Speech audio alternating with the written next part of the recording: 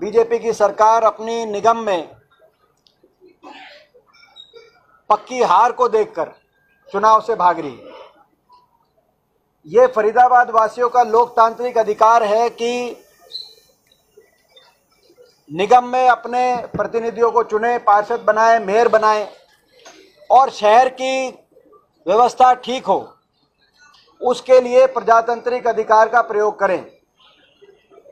सरकार ने फरीदाबाद को नौ साल में कुछ दिया नहीं। कम से कम चुनाव का प्रजातांत्रिक अधिकार तो समय पे दे सकती थी। कोई विकास का कोई कार्य को बड़ा फरीदाबाद में सरकार नहीं बता सकती। इन साढ़े नौ साल में कम से कम चुनाव का अधिकार तो देना चाहिए।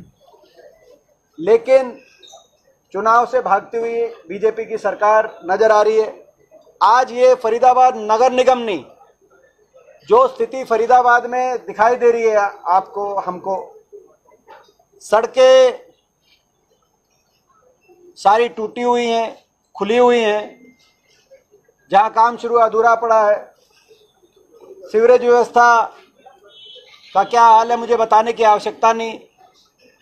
पीने के पानी की सप्लाई की क्या स्थिति है, वो मेरे को बताने की आपको आवश्यकता नहीं। सफ़ाई का सफ़ाई की क्या स्थिति है फरीदाबाद के अंदर? वो आपको दिख रही है पार्क की क्या स्थिति है? वो आपको नज़र आ रही है।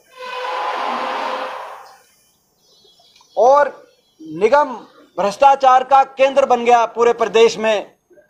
बदनामी हुई फरीदाबाद की, निगम की। वो मुझे आपको बताने की ज़रूरत नहीं। यहाँ तक कि 200 करोड़ का घोटाला जिस रूप से सामने आया, हमारे विधायक नीरज शर्मा जी ने भी उसमें बहुत महत्वपूर्ण भूमिका निभाई पूरे प्रदेश का ध्यान आकर्षण करने के लिए। रिकॉर्ड रूम में आग लगा दी जाती है। वो आपके सामने इतने खुले में भ्रष्टाचार और जितने ठेके सफ़ाई से लेकर बड़े बड़े मैन पावर तक जो ठेके दे दिए जा रहे हैं, विकास कार्यों के ठेके दिए जा रहे हैं, किस रूप से बीजेपी के पदाधिकारी, जनप्रतिनिधि, उनमें खुले रूप से भ्रष्टाचार को अंजाम देके फरीदाबाद निगम को भ्रष्टाचार का केंद्र के रूप में परिवर्तित करने का काम किया, वो आपके सामने सुलभ शौचालय में घोटाला, हमारी सरकार में आपको याद होगा, प्याली चौक सड़क को डबल किया गया था। लेकिन आज नौ साल के बाद भी प्याली से बाटा रोड अधूरी है, स्टेडियम अधूरा है। 26 गाँव को निगम में जोड़ा गया, लेकिन वहाँ पे उन गाँव में कोई विकास कार्य नहीं, कोई सफ़ाई की कोई, सफ़ाई के लिए कोई काम हुआ नहीं। निगम में 1500 करोड़ का घाटा दिखाई, दिखाया जा रहा है।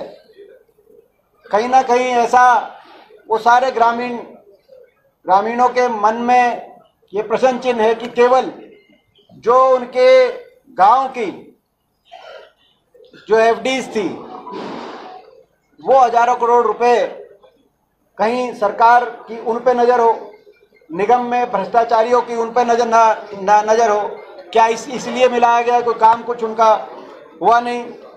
कोई भर्ती दायरा बढ़ गया, लेकिन नई भर्ती नहीं हुई। स्टाफ की, सफ़ाई कर्मियों की की बात हो या और कोई स्टाफ की बात हो, एक बारिश में फरीदाबाद की निगम की सारी आज तक की कार्य विफलता सामने आ जाती है। बारिश से लेकर और ट्रैफ़िक तक 500 से कम पुलिसकर्मी ट्रैफ़िक के, जबकि ये इतना बड़ा महानगर निगम और स्मार्ट सिटी के नाम पे क्या हुआ? मुझे आपको बताने की ज़रूरत नहीं, वो एक अपने आप में। तो ना तो ट्रैफ़िक कर्मी जितने होने चाहिए ट्रैफ़िक कर्मी है। बल्लभगढ़ से पाली की, पाली जो, अभी जो सड़क है, वो अधूरी सड़क, बुरा हाल उसका है। मुझे वो भी बताने की आपको आशा, आप तो पता है रेनिवल योजना, ये हमारे समय की योजना थी, हमारे समय शुरू हुई थी। आज तक सुचारू ढंग से, साढ़े नौ साल के बाद सरकार इस योजना को आगे बढ़ा नहीं